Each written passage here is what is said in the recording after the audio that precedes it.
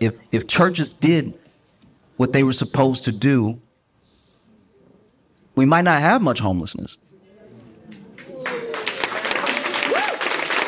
I mean?